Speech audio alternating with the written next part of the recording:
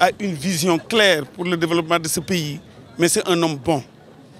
Il aura cité successivement tous les présidents qui ont travaillé pour ce pays.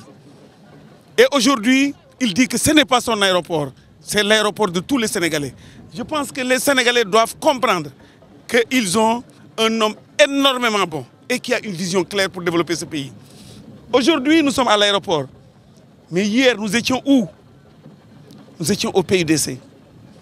Nous étions dans l'agriculture. Et demain, nous serons au KMS 3. Ça veut dire que c'est un homme qui a une vision pour l'avenir du pays, pour notre jeunesse. Je dirais tout simplement qu'il est temps que nous comprenions que nous avons une chance à saisir. Et il a appelé tous les jeunes, tous les Sénégalais à travailler pour le développement de ce pays, pour le bien-être de tous les Sénégalais. La santé, qu'est-ce que le président n'a pas fait? Les bourses familiales. Je pense qu'aujourd'hui, nous devons admettre que nous avons quelqu'un qui a une vision précise, qui est admiré de par le monde entier. Les Sénégalais ne doivent pas être en reste.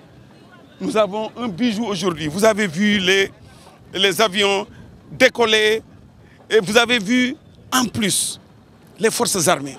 Qu'est-ce que vous dites?